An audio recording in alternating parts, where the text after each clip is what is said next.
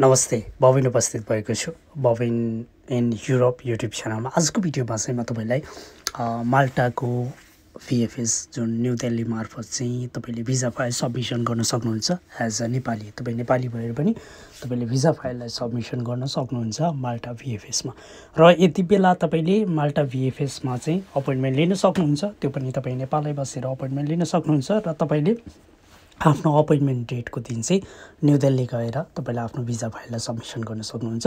माल्टाको appointment कसरी लिने म आजको भिडियोमा तपाईँलाई सिकाउँछु। सुरुमा तपाईँले टाइप गर्नुहोस् माल्टा भिएफएस इन इन्डिया भन्ने टाइप गर्नुहोस् र त्यो टाइप गरिसकेपछि तपाईँ माल्टाको भिएफएसको वेबसाइटमा जानुहुन्छ। यस्तो इन्टरफेस आउँछ तपाईँको माल्टाको भिएफएसको वेबसाइटमा र तपाईँले यहाँनिर बुक नाउ गर्न सक्नुहुन्छ।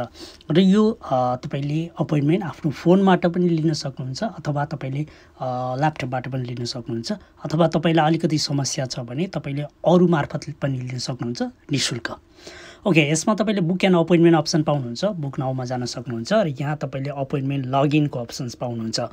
र तपाईँ यदि पहिलोचोटि भिएफएस पोर्टलमा लगइन गर्दै हुनुहुन्छ भने यहाँ न्यू युजर भन्ने अप्सन्स पाउनुहुन्छ। फेदमा त्यहाँ गर्नुहोला।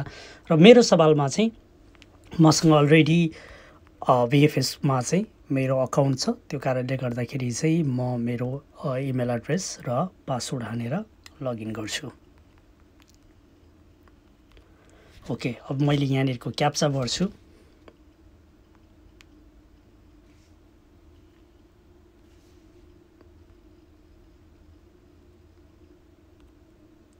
ओके मैले क्याप्चा पनि भरेँ र अब म छिरेँ। अपोइन्टमेन्ट साइटमा पिएफएसको अपोइन्टमेन्ट साइटमा तपाईँको इन्टरफेस यस्तो देखिन्छ र मलाई यहाँ वेलकम गरिरहेको छ। यति बेला म सेड्युल एन्ड अपोइन्टमेन्ट अप्सन्समा जान्छु। र सेड्युल एन्ड अपोइन्टमेन्ट अप्सन्समा गइसकेपछि तपाईँले यहाँनिर माल्टा लेखेको छ र तपाईँले यसलाई चेन्ज नगर्नु होला। से सेलेक्ट द सेन्टर भनेको छ। यसमा हामी पक्कै पनि हामीले चुज गर्ने भनेको न्यु दिल्ली न्यु दिल्ली हो। र तपाईँले सेलेक्ट क्याटेगोरी चेन्ज चुज गर्न सक्नुहुन्छ जसमा वर्क भिजा इम्प्लोइमेन्ट भिजा र यहाँ तपाईँले चाहिँ यहाँ देख्न सक्नुहुन्छ click here to know the earliest available date यहाँ क्लिक गरेर चाहिँ तपाईँले सबैभन्दा छिटो अभाइलेबल डेट कहिले छ त्यो हेर्न सक्नुहुन्छ।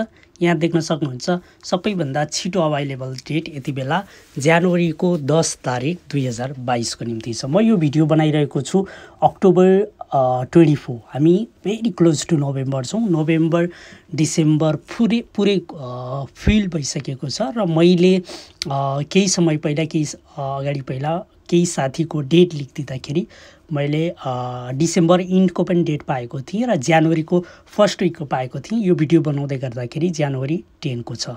अब तपाईँले यहाँ कन्टिन्यू गर्न सक्नुहुन्छ। कन्टिन्यू गरिसकेपछि यहाँ तपाईँले एउटा इन्फर्मेसन्स पाउनुहुन्छ कस्टमर लिस्ट भनेर। देख्न सक्नुहुन्छ। One time password code OTP will be sent either to the mobile number or to the email address mention in the customer details भनेको छ। तपाईँलाई चाहिँ एउटा ओटिपी कोड आउँछ त्यो चाहिँ तपाईँले मोबाइल नम्बरमा पनि आउँछ र इमेल एड्रेसमा पनि आउँछ र यो सवालमा तपाईँले मोबाइल नम्बर इन्डियाको देखाउनु पर्ने भएको कारणले गर्दाखेरि म तपाईँलाई यहाँ एड कस्टमरमा क्लिक गर्नुहोस् र एड कस्टमरमा क्लिक गरिसकेपछि अब तपाईँले यहाँ आफ्नो डिटेल्स हाल्नुहोस्। पासपोर्ट नम्बर राख्नुहोस् डेट अफ बर्थ राख्नुहोस् पासपोर्टको एक्सपाइरी डेट राख्नु राख्नुहोस् अनि सेलेक्ट नेसनालिटी भनेको छ यसमा पक्कै तपाईँले आफ्नो नेपाल राख्नुहोला।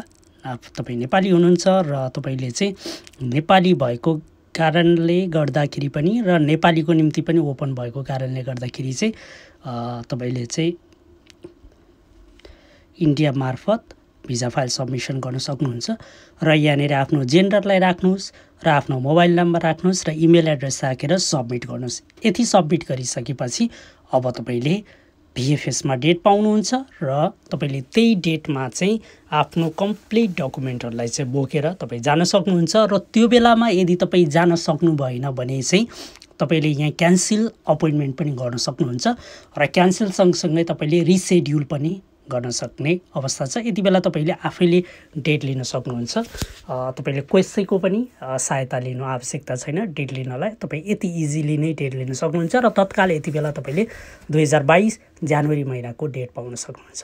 Thank you very much